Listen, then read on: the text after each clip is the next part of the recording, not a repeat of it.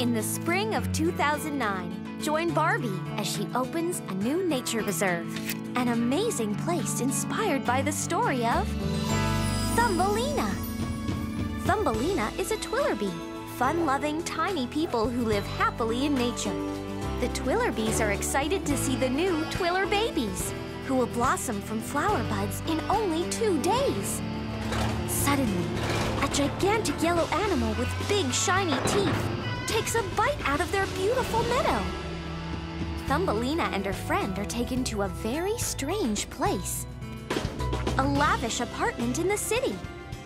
The Twillerbees cautiously explore their unfamiliar surroundings, only to discover that the survival of the Twiller babies lies with a young spoiled girl named Makena. Will the Twillerbees be able to save their home with the help of their new friend? Find out if the smallest people can make the biggest difference. As Barbie presents Thumbelina, coming to DVD, spring 2009.